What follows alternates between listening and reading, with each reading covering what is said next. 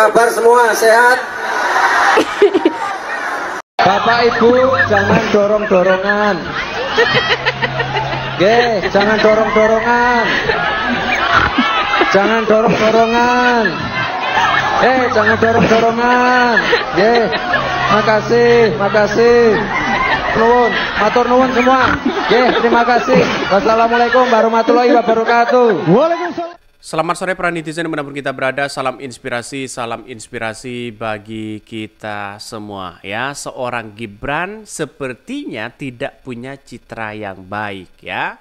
Mengapa saya katakan seperti itu ya? Kita lihat saja momen-momen mereka ketika ya terjun atau eh, datang ya atau eh, apa namanya eh, melakukan pencitraan di eh, di pasar begitu kan ya. Mereka malah dicubit pipi mereka begitu kan.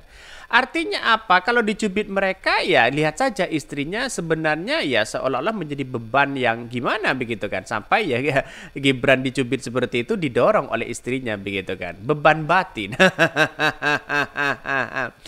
Ini kan seolah-olah citranya gimana begitu kan ya. Ya walaupun agak mengemaskan di situ tapi pada kenyataannya kita lihat saja. Coba ditanyakan di situ masalah eh, harga bahan-bahan pokok, UMKM, masalah lapangan pekerjaan. Paling jawabannya, hah, hah, hah.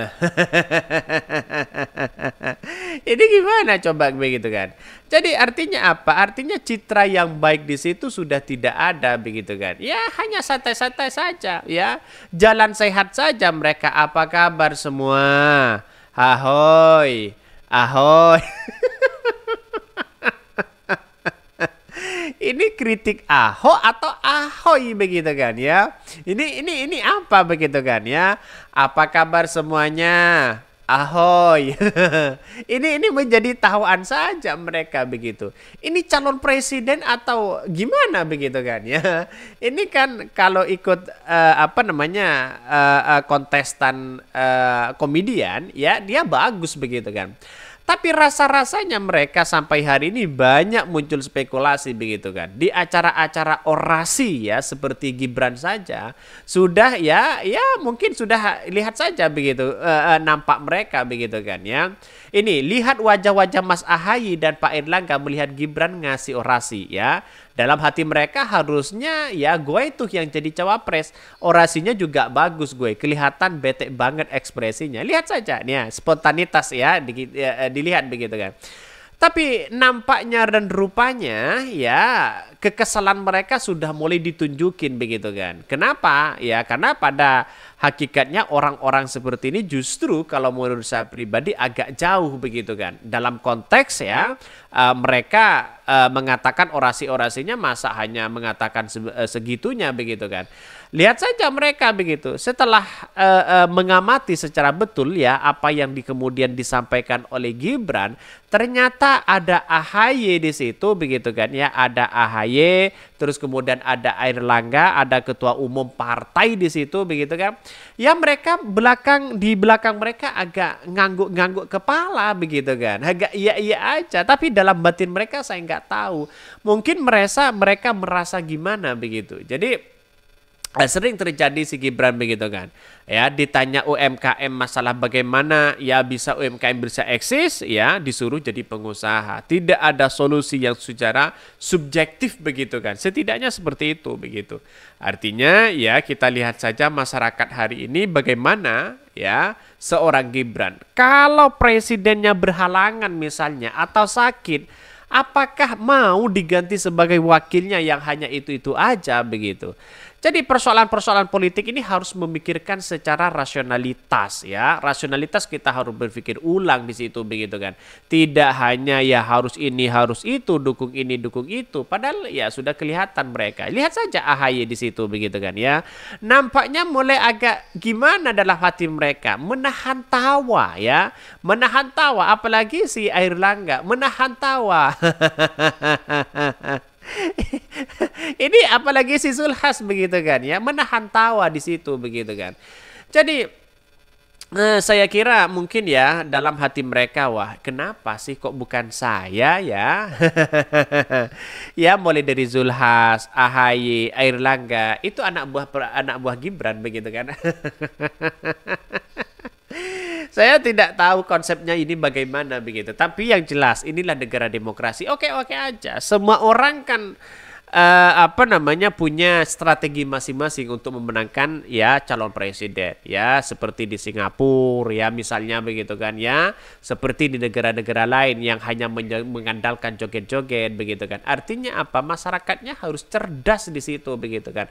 Menentukan pilihan secara rasionalitas bukan ya uh, ambisi kekuasaan sana sini begitu kan. Sayang seribu sayang ya. Kenapa bukan AHY? Kenapa bukan yang lain dan sebagainya begitu kan? Masa orasinya jangan dorong-dorongan.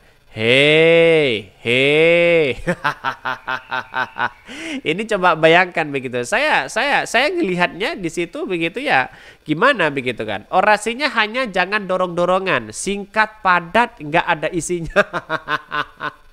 Katanya singkat padat gak, gak ada isinya begitu kan. Ya, lihat saja mereka dicubit pipinya ya. Ini ini bentuknya apa coba bayangkan. Ini kan mengesankan dalam nuansa uh, uh, apa namanya kegemasan begitu kan. Ya, artinya apa? Artinya ya si perempuan ini begitu kan ya si perempuan ya si istrinya mulai agak dorong Gibran karena Gibran dicubit-cubit seperti itu begitu kan ya.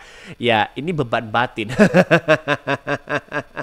ya mungkin seperti itu begitu kan. Ada yang komentar yang netizen di sini. Istrinya tekanan batin ya. Demi konten ya arahan sutradara. Nyoleknya kurang kenceng ya. Nabok maksudnya gitu kan ya. Ada yang berkomentar lagi ya Gibran memang ya masih kecil, wajar ya agak gemesin. Tapi kita lihat saja di situ bukan soal ini gemesin atau tidak, tapi bagaimana soal pemimpin punya representasi anak muda di situ begitu kan. Bukan soal ini ini muda, bukan soal ini ini harus ini harus itu dan sebagainya begitu kan. Artinya yang dilihat hari ini dari kancah internasional yang kita hadapi itu adalah otaknya begitu kan. Gagasannya ya malah masalah fisik fisik tidak menjadi masalah nomor berapa begitu kan. Tapi pada kenyataannya mereka bagaimana kalau Prabowo berhalangan misalnya begitu kan. Apa yang apa yang dilakukan oleh Gibran? Apakahnya hei ya baik jangan dorong-dorongan ahoy apakah seperti itu begitu kan jadi seorang wakil presiden dan presiden ya itu harus sama pemikiran mereka kecerdasnya harus sama. Satset satset jadi begitu. Jadi bukan soal uh, uh, apa namanya uh, uh, apa gemes ini dan itu dan sebagainya. Ngapain begitu kan? Apakah apalagi baperan di situ begitu?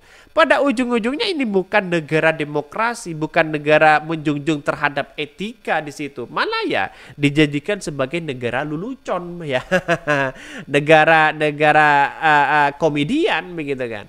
Jadi jadi artinya apa? Masyarakat itu perlu hati-hati untuk memilih calon calon presiden begitu, apalagi calon wakil presiden.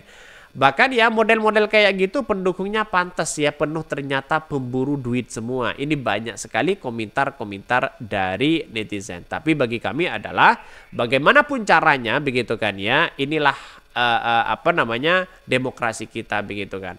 Oke yang mungkin itu yang kami sampaikan ya tonton terus channel Ho dari podcast Rayan ini karena ada berita-berita menarik dan viral setiap harinya. Salam para netizen, salam inspirasi, salam inspirasi bagi kita semua. Jangan lupa di subscribe dan YouTube Ho dari podcast Rakyat ini.